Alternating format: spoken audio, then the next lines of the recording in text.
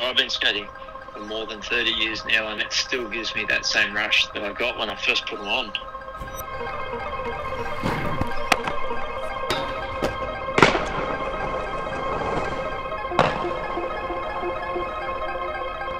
Now, at 45 years old, skating is, is just pure enjoyment and my way to express myself.